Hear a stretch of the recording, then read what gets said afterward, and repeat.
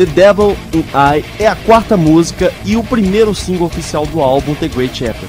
No clipe The Devil in I, podemos ver os integrantes do Slipknot dentro de um manicômio, usando suas máscaras antigas do álbum All Hope Is Gone. E o que podemos notar é que a maioria dos integrantes parece estar numa espécie de reflexão, separados cada um em uma sala específica usando roupas brancas. E todos me aparentam estar bastante tranquilos, inclusive. E também nos é apresentado ao mesmo tempo a banda em movimento, executando a música, acompanhado de vários loucos vestidos no que parece uma mistura de múmias com camisa de força, pelos quais carregam um novo símbolo de S com cabeças de bode da banda, é, nessa, nessa roupa, nesse trem aí. E em cada sala ou ambiente de cada integrante da banda, podemos notar que duas mulheres numa espécie de capa vermelha circulam por todos os lugares durante o clipe. Mulheres essas, meus amigos, que são as mesmas duas mulheres do clipe The Negative One. Saca só as fotos e dê uma comparadinha nos olhos.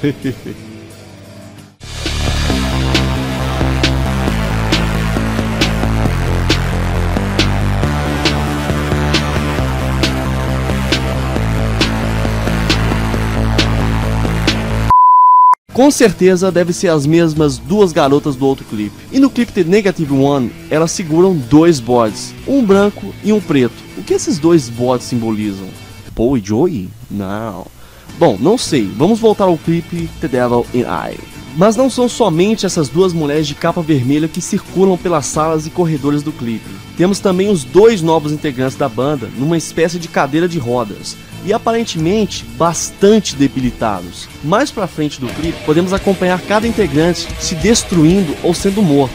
Sid, por exemplo, mesmo não usando a sua cyber máscara do Orbis One, come sua própria carne, arranca seus dedos de uma forma bem doentia. Que delícia de carne, cara! Como eu sou gostoso!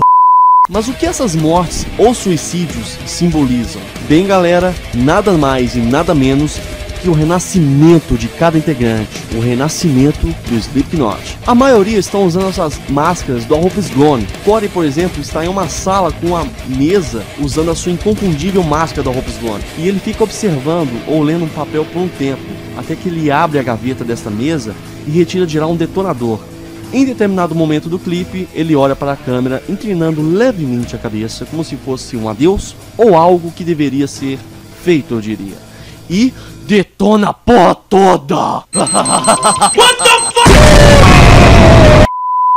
Essa detonação do Corey usando sua máscara da Hope's Gone, pra mim simboliza o fim da era All Hope's Gone. Álbum que o próprio Slipknot declarou não ser o álbum favorito deles. Um álbum que foi fácil de fazer, mas que deixou um gosto amargo, segundo alguns integrantes da banda. Clau já declarou que All Hope's Gone, ou Toda Esperança Está Perdida, traduzido, era um péssimo título para um álbum, e durante a turnê deste álbum, Clau perdeu o pai e a mãe. Eu vou deixar um link na descrição para vocês conferirem o vídeo e entenderem um pouco mais do porquê All Hope's Gone é um álbum menos querido pelos integrantes da banda.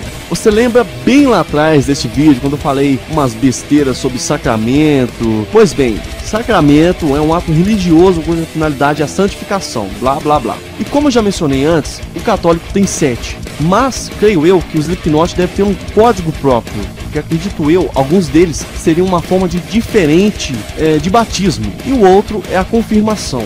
Quer uma prova? Todos os sete integrantes originais do Slipknot esfaqueiam os dois novos integrantes que estão extremamente debilitados, mas que em seguida já aparecem executando a música junto com os outros sete em seus devidos instrumentos. Bom, eu chamaria isso de ritual de iniciação, ou como falamos sobre sacramento, isso seria uma forma peculiar de batismo. Eu sei que pode parecer tosco do jeito que eu tô falando, mas liga alguns pontos da música e do clipe e você verá que não sou tão louco e paranoico quanto eu pareço. Ou talvez eu seja. O outro passo do sacramento ou código do Slipknot seria a confirmação. Mas a confirmação que estou falando são que Jay Weinberg e Alex Ventureira somente ganharão números ou identificações dentro da banda no futuro, quando fizerem por merecer. Bom galera, este vídeo deu um pouco mais de trabalho para fazer que os outros, mas realmente vale muito a pena se vocês gostarem. Então, se você gostou, deixe aquele like brutal para fortalecer. E muito obrigado a todos por assistirem. Deixe seus comentários e teorias, pois com suas ideias e teorias me ajuda muito na produção dos próximos vídeos. Um abraço a todos, muito obrigado novamente, galera, e stay sick.